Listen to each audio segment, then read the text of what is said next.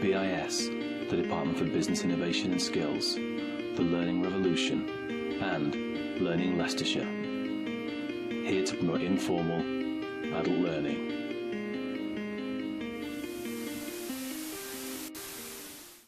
Hello and welcome to this next instalment from Learning Leicestershire, which is all about computer hardware and types of computer.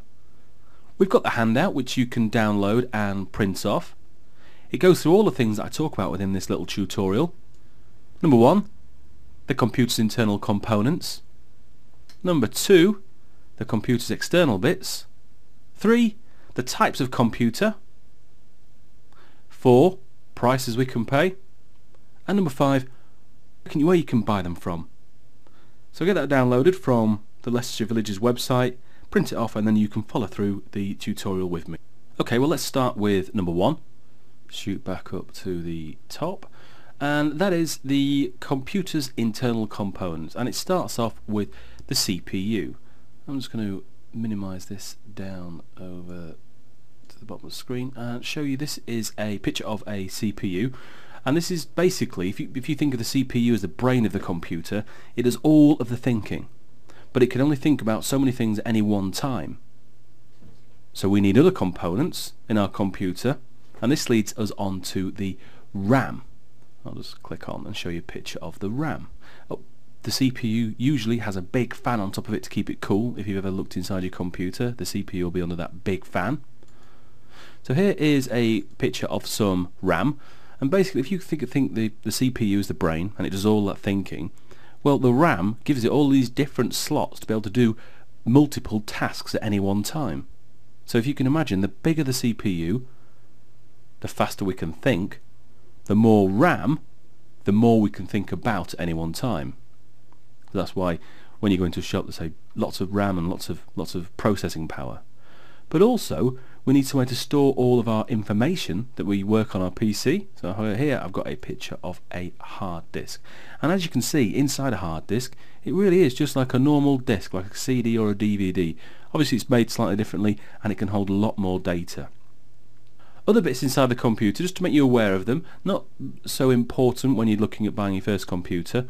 The motherboard basically this holds the CPU this is where the CPU would go on the motherboard the thinking part. You stick your RAM sticks down here. That allows the CPU to think about lots of things at any one time. And then also we've got the, the outputs and inputs on the motherboard there other parts of the computer include the disk drive and as we can see here that's probably a DVD drive because it allow you to play a DVD on your computer.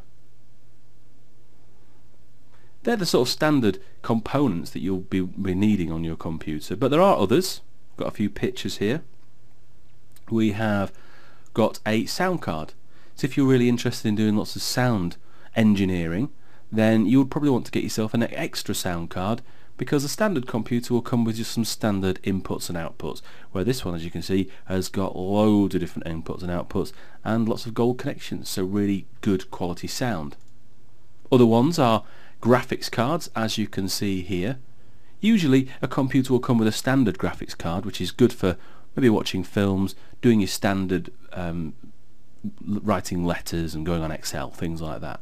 But if you wanted to play pretty graphically intensive games then you would, you know, more than likely you'd need to get an extra graphics card unless you've got a good one already on your computer.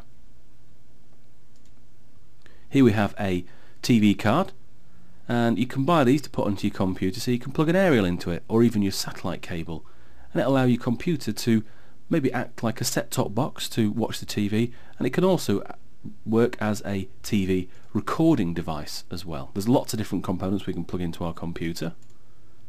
Uh, here's another one. This will give us some more USB ports as you can see here. This is a card reader we can plug onto our computer and you'll see gives you lets you put all lots of different cards in there and it gives us some extra USB ports. So there's lots and lots of things that we can plug into our computer on the insides and on, on the outsides but what's the standard specification? Well nowadays we're looking at around maybe 2.5 to 3 gigahertz processors and they're usually dual core, triple or quad So if you can imagine, if you went out and bought a PC with a 2.8 gigahertz processor, that's pretty good, and it can do quite a lot of thinking. But if you get one that's a dual core, that means it's got two processors. So it can do twice as much thinking at exactly the same speed. Triple core and quad core, obviously you can imagine what that starts to do with the amount, of thinking power you've got. RAM, I think you know between two and four gigabytes of RAM is excellent now, especially we've got Windows 7, and Windows 7 can run really really well on less than four gigabytes of RAM. And then hard disk drives, we're leaning towards the, the bigger disk drives now, but if you get a computer with a 250 gigabyte hard drive, that'll last you for ages before you need to go and get any any other memory to stick onto it. Right, let's go on to part two. The computer's external bits. Obviously we need some external bits on our computer to allow us to see what's going on. That's what the monitor does. You can have one or two monitors, it depends on your computer, and that lets the computer show us what's happening.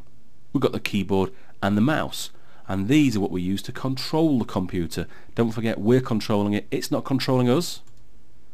Also got speakers, they allow us to hear things. If we're using it as a media center, then the monitor will allow us to watch the DVD, and the speakers will allow us to hear it.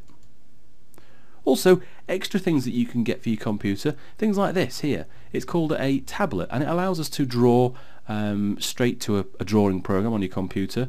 But here we have something that a lot of people get. Printers and scanners, maybe it's a fax as well. It's an all-in-one printer scanner there. We may need a webcam.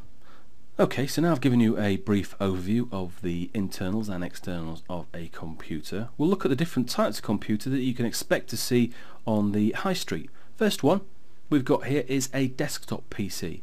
You've got your main unit here with your disk drives and all your gubbins inside. You've got your monitor to allow you to see what's going on, keyboard and mouse, and speakers usually come with the bundles that you can get in the shops nowadays. By far this is the easiest to upgrade. You can pop the side off and you can put an extra sound card in or a video card. If in the future you know you get a bit more advanced you want to do some video editing. Dead easy to upgrade and usually the cheapest of the bunch. Next we've got a laptop this is very similar to a desktop, as you can see, but it's been compacted down. Usually it's a little slower than a desktop, and um, but it comes with a battery. You can take it, it's mobile, got about two to three hours battery life in there, and still quite powerful. And next one, we've got a netbook. These have been designed for the new internet sort of revolution, and it allows us to take it out and about, connect to wireless networks anywhere in the in the town, so we can go on the internet. It's it's quite powerful little machines. They allow us to do word editing, and um, you know we can work on Excel and some lower processor intensive programs. So you couldn't use it to do video editing or anything like that. You can't really upgrade it. It comes as standard, all neatly compacted in a little shell. Okay, well, prices of computers can vary. You can pick up cheap little netbooks for about £200 um, you can also get some really good deals on the Dell website. In fact, I've got it down here. Just have a quick look. Here we go. You can get a pretty decent Dell desktop computer for £349. But it does depend on what you want the computer for. If you want it to be ultra portable, get yourself a little netbook. If you want a portable computer but one that you still use at home for powerful pro thinking processors, then get yourself a laptop. Or if it's something that you may want to upgrade in the future, get yourself a desktop. But computers are cheap enough now that we can have more than one in the household. And once you have decided how much you want to spend and what sort of computer you want, where do you buy it? I usually suggest to people that you go onto the internet and check out all the best deals that are available. And I always recommend to people Dell and another website called eBuyer because usually they are the cheapest and they offer really, really good customer support if anything ever goes wrong. But if you do go down the high street, make sure you research what you want before you go in there, know what you want, get recommendations from friends and family, and don't let the salesman push you into buying extra warranties and guarantees and upgrading your hard drive and your processor for things that you don't need. Go prepared and you'll come out with what you want. I hope this short tutorial has given you a good insight into your computer, your internals and externals. Uh, if you've got any questions, you want some advice on which computer to buy, just go on to the learning forums in Leicestershire Villages. There's a link on the um, PDF handout. Go into there, ask some questions, and you know someone will come back with some good advice for you. I've been Nathan Revill. Thank you very much, and I look forward to seeing you in the next tutorial.